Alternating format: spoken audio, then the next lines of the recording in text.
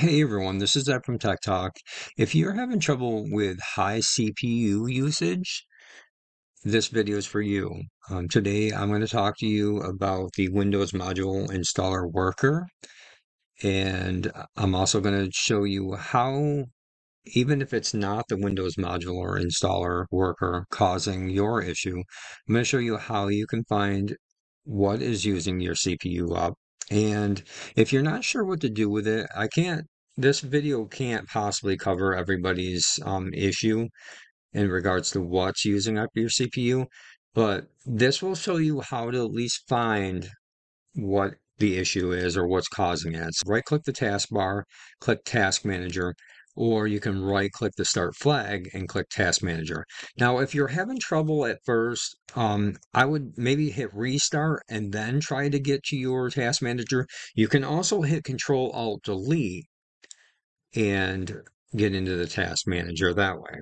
Um, but if your computer's pegging out and if it's the Windows modular installer worker, one way for you to be able to um, stop that is to come in to the task manager, find the Windows installer worker, and that's usually, and maybe you're asking yourself, well, what is the Windows Modular Installer Worker? Well, the Windows Modular Installer is associated with the Windows Update, very critical. Um, portion of the operating system. So what I would do is I click search and then type in Windows Update setting in there and then click on this. And as you can see, mine is trying to download. Um, it's not it's not going at the moment.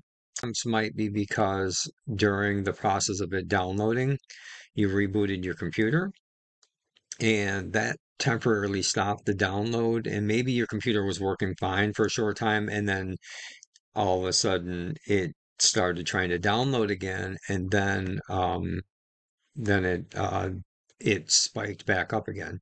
So what I did is I went back into the the update here and I I triggered the download and install. So as you can see now it's on 8% so we should start seeing the CPU usage start climbing and it could peg out. So I'm just going to pause it for a second just to see what it does. So it's pegged up. It went up as far as um, 90%. So this is also increased by activity. So if I click Google and I run Google, um, high probability you're going to start seeing it go up even more. Not all the time, but as you can see, I'm at 70, 82% now. So it did jump up. Now it's 87. So what you need to do is find the scroll down so you see the Windows Module Installer Worker. And it should be in here somewhere. So scroll down until you find the one that's actually using up all of the resources. Um, and it's highly unusual for it not to show. It's, there it is. So as you can see, it finally showed here. So the find the Windows Module Installer Worker, click here, right click on it. Go back up here.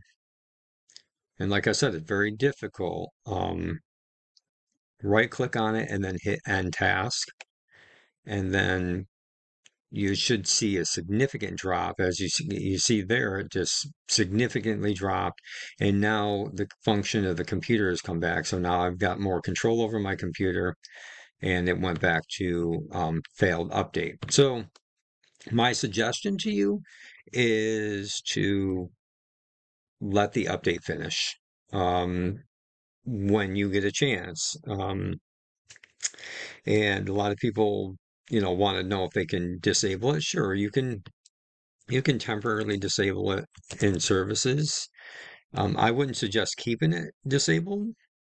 So I'm going to run it. So if you type in services in a search, and then you can just type in Windows, start typing Windows, and then search search for module installer.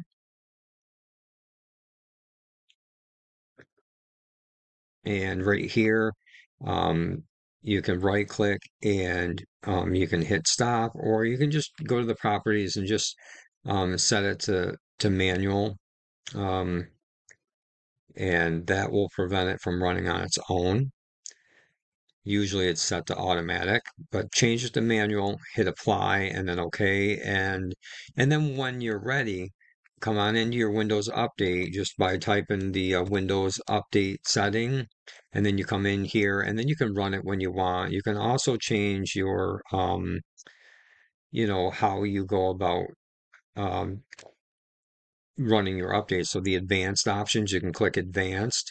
You can go down here and change your active hours. Click on active hours and um, you can uh, adjust your time here. And that's pretty much it. So um, hopefully this helps you out. If you have any questions, if, um, for example, if yours isn't the Windows modular installer and you're having high CPU usage and you can't figure it out, leave me a comment below. And um, if this helps you, please consider hitting that uh, thumbs up, and that would be greatly appreciated. All right, thank you for watching. You have a great night. All right, bye.